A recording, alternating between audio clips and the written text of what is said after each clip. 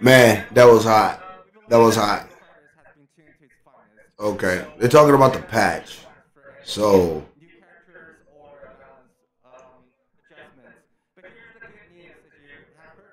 uh huh.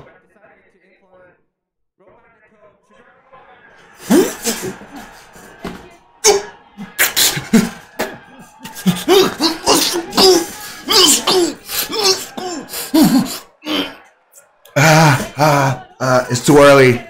It's too. it's too fucking early for this shit. What? What?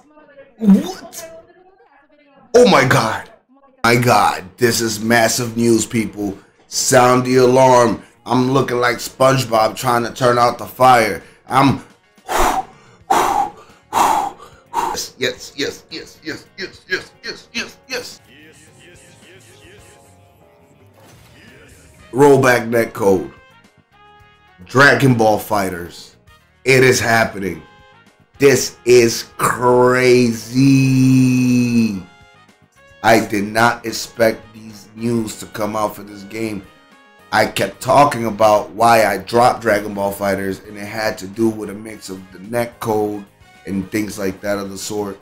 Um, I have a pretty good, decent connection, but with my friends across, let's say, the West Coast and such, was big, big, big, big, big, big, big, very big, very big that this uh, feature should be implemented.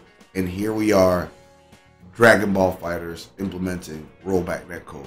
There are no more new characters, at least what they're stating, and um, I think that's fine, at least with what we got, based off the fact that if by them adding this is going to make up whole player base return to the game, including those who didn't have very good internet. It is crazy, crazy, crazy, crazy, crazy that they're that that they actually implemented it for this version of Dragon Ball. I don't know what that means for the future of the fighter series because how it's looking is that they're positioning themselves to see where the interest of everyone lies currently with Dragon Ball or fighters in fact and see where they can go from this point forward.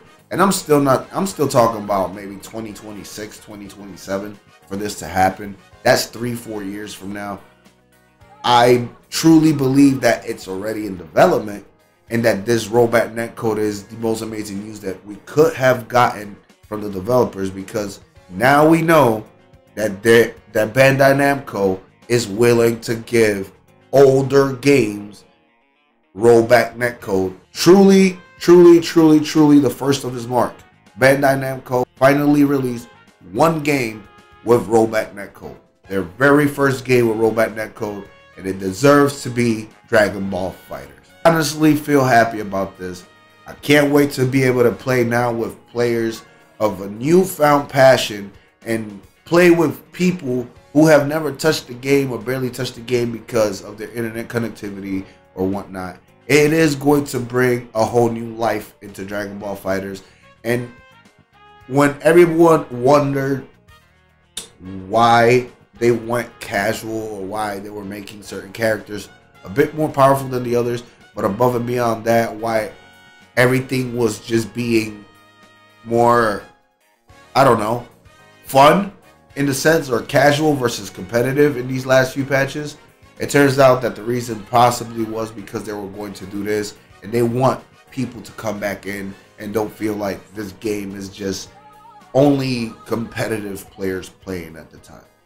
And that's it. That's all I got. I really, really, really enjoyed this trailer reveal uh, watching it live when it came out. I couldn't scream. I had to wait to record this so that way I wouldn't wake up the neighbors. But here we are. I hope you enjoyed this video. And if you guys love Dragon Ball FighterZ and anything anime gaming content related, this is where you want to be at here on the channel with your boy DBGTX. You all already know. Holla at me, and I'm out.